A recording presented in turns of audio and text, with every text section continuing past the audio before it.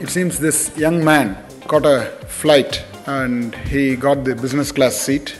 The passenger next to him comes and sits next to him, and he was very surprised. He is the chairman of the biggest company of India, about uh, 80 years old, sitting and traveling. He wanted to make a small conversation. Sir, you are 80 years old. Why don't you retire now that your company has become so big, you know, earning lakhs of crores? To that, the chairman said, My dear young man, the plane has reached 30,000 feet height. Why can't the captain switch off the engine? So the relevance is here.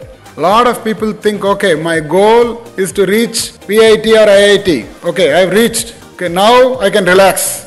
What will happen if you relax? The plane will go down. You cannot afford to relax now. This is the platform for takeoff. We are your platform.